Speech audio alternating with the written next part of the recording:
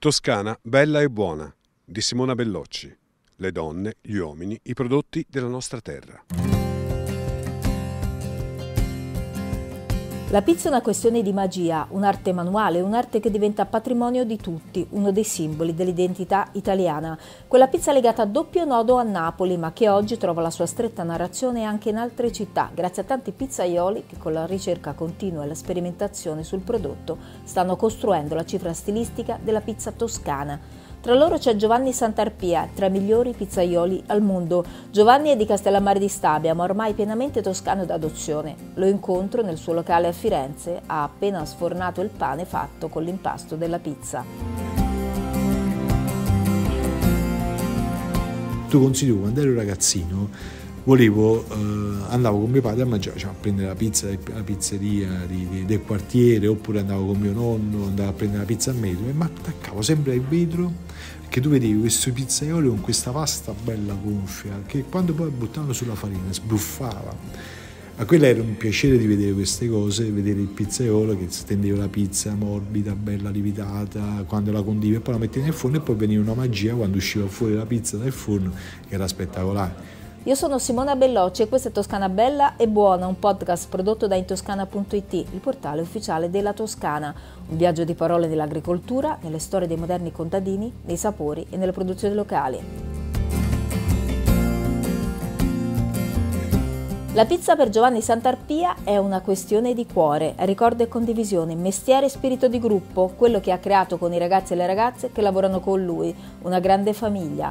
Oggi il suo nome è consacrato dalla critica, ma torniamo indietro. Io e Giovanni parliamo del suo inizio, quando ha cominciato ad apprendere il mestiere. Il mio lavoro è iniziato in 1988, iniziai a fare il ragazzo di bottega facevo il, diciamo, i calzoni, pizza fritta, crocchè, gli arancini, eccetera, fino a quando venne un vecchietto che si doveva passare di là, che abitava nel quartiere, e lui ci, gli disse, il proprietario disse, ma perché non fai il forno a legna e vi insegno io a fare pizze? Questo vecchietto aveva 83 anni, è spedito da Raffone, e a distanza degli anni ho conosciuto suo nipote, è spedito da Raffone, che faceva il panettiere anche lui.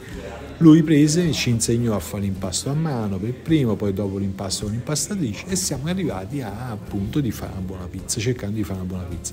Partì con l'anno successivo, diciamo, di, di, continuando a fare il pizzaiolo, imparando sempre meglio, fino a quando arrivai nel 91 andai a lavorare a Capri. La prima volta di Giovanni Santarpia in Toscana è invece nel 1996 a Vicchio, poi altre esperienze in Italia per costruire quel bagaglio che porta oggi Santarpia tra i protagonisti più vivaci della scena della pizza italiana. Prima di ritornare qua andai a fare i giri tutte le pizzerie no? della provincia di Napoli, andavo a vedere un po' tutti i pizzeri come facevano la loro pizza. È giusto per rubare il mestiere, perché sono un lato di mestiere. Purtroppo della dislessia mi sono messo a leggere, a studiare e tutto, però io guardavo gli altri guardavo gli altri come lavoravano, come si muovevano, anche in passato, perché comunque in modo dell'altro, pure se io andavo in giro per divertimento, comunque rubavo con gli occhi.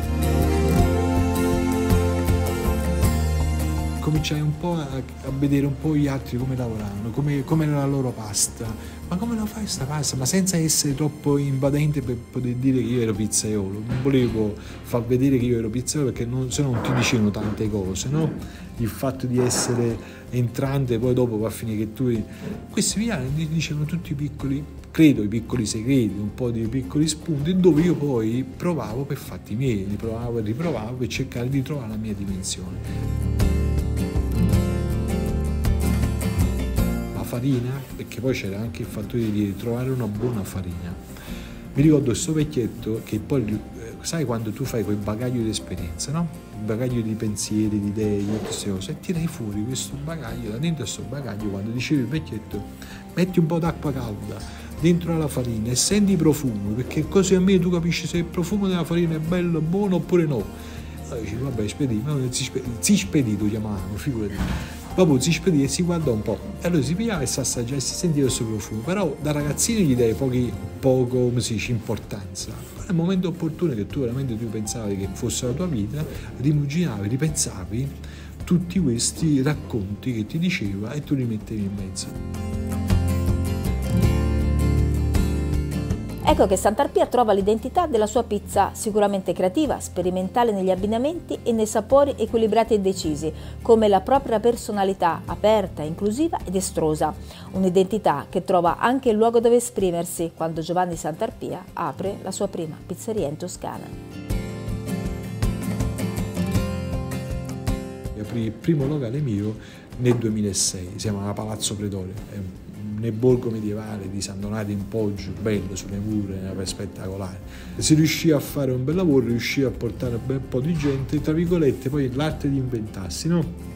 Siccome eh, per far arrivare gente là sopra, in quel paese, perché tu comunque dovevi portarla la gente, perché comunque stando a San Donato in Poggio non era semplice farli arrivare e io creai dei volantini della storia di San Donato, ce l'ho ancora conservata a casa, della storia di San Donato e, e c'erano le foto no, del paese, i, vari punti dietro il vicoletto dove c'avevo questo vicoletto del locale, vari punti altri, altri vicoletti del paese, eccetera, però tutte le foto portavano davanti al mio locale senza vedere scritto Palazzo Predore per far sì che la gente dovevano girare perché dovevano girare per vedere non è che era e non c'era una pubblicità del locale su questo volantino.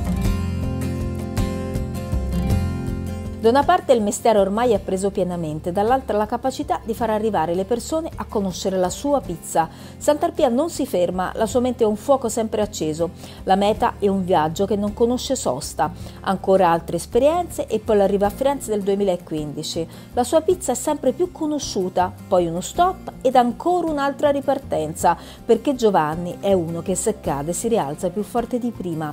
L'apertura dell'attuale pizzeria in via Senese nella testimonianza, un locale che ha vissuto come altri anche lo stop per la pandemia. Eppure Sant'Arpia trova sempre la chiave per reinventarsi, così iniziano le consegne della pizza a domicilio. Giovanni spiega ai clienti come ripassarla in forno per mantenere tutte le caratteristiche del caso. Poi la sua pizza esce anche dal locale. Giovanni, con il suo forno mobile, partecipa ad eventi esterni. Il suo nome cresce di popolarità. Non avevo nulla, non c'avevo, sono partito proprio da... Però tutto questo, io avevo due cose importanti. Vabbè, la passione e il mio mestiere e avevo tutti i miei ragazzi che mi, affian- mi hanno affiancato, tutti, che mi hanno aiutato a ridipingere, a buttare via l'immondizia, a rimettere in sesto un po' tutto, a organizzare tutto quello che c'è all'interno dell'attività fortunatamente di carità con loro li amo perché poi loro diciamo, credo che amano me. Però il, il, ripartire è stato questo. È un, un'emozione anche vedere tanto meno queste cose. Non è solo un lavoro perché per me non deve essere solo un lavoro. Il mio lavoro deve essere un divertimento. E se io mi diverto con tutti quanti loro con tutti i miei ragazzi il cliente si diverte Chiunque viene qua, si siede a tavola, dice io sto come fosse a casa, vedo un'armonia tranquilla, serena. Deve essere così. Poi parliamo di pizza mentre siamo seduti ad un tavolino, non una pizza qualsiasi, ma quella del cuore. Se io ti devo dire la mia pizza, la mia pizza preferita, che è una pizza che per me è sempre per tanti è preferita, però io vedo la mia, la mia, uh, la mia diciamo, infanzia più che altro perché mia mamma mi, mi, beccava con le mani nella pentola e prendevo le salsicce e friarielli.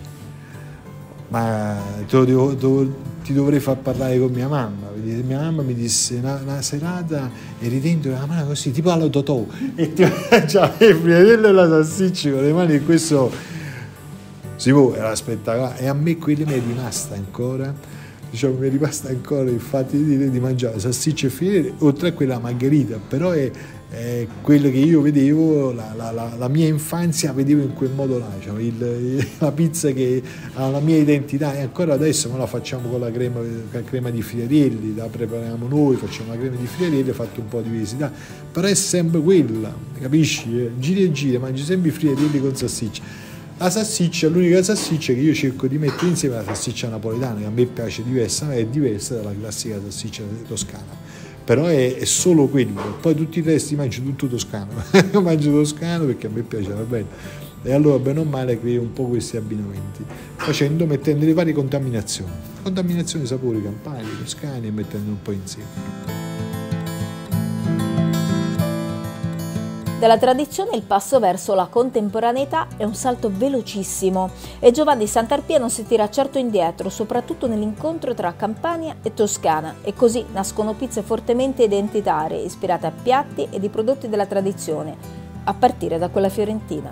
Fece la pizza all'ampredotto e quella è una pizza che comunque il prodotto è toscano.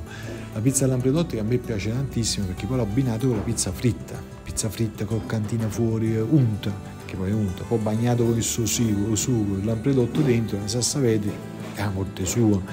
Oppure tanto meno abbiamo fatto anche la mozzarella in carrozzo con, con, il, diciamo, con la trippa sopra potrebbe essere pure con la pizza o con i, le varie contaminazioni, i vari prodotti che siano toscani o che siano esteri. Io ho cercato di mettere eh, la pizza, pure con il ragù l'ho fatto per un paio di tempo, il ragù eh, toscano con la provola affumicata, scaglie di parmigiano su.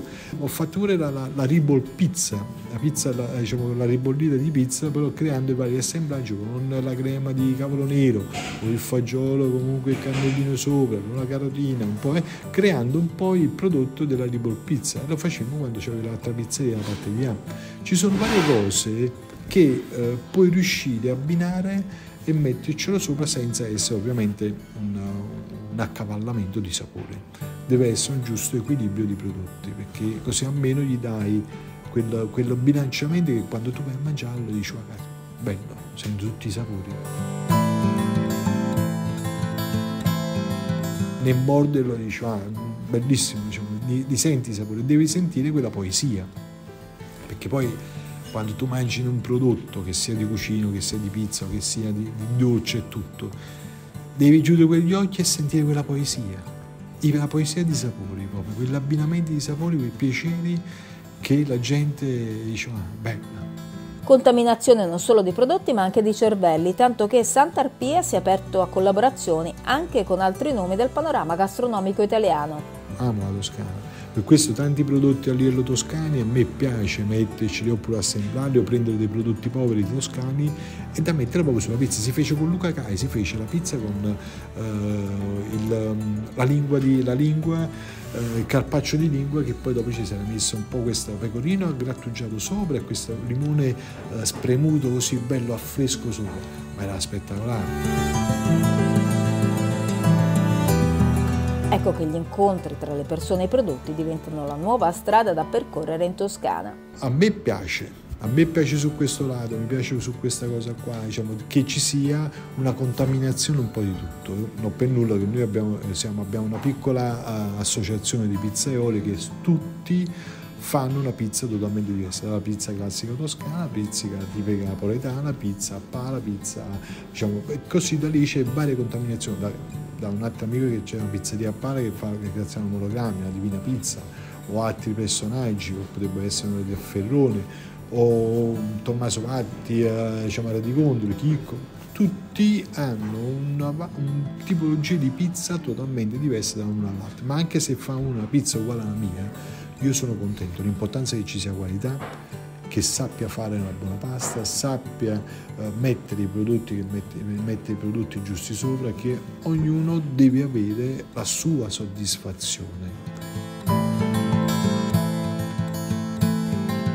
Fuori si fa buio, a breve la pizzeria aprirà le sue porte. I ragazzi di Giovanni Santarpia sono già al lavoro, sistemano la sala, altri sono al fuoco del forno. Intanto c'è ancora tempo per immaginare, per progettare il futuro della pizza, magari con una strada della pizza nella Toscana diffusa che tenga insieme i maestri pizzaioli, i borghi, i produttori locali. Un sogno comune e realizzabile, fatto di arte, passione e sentimento.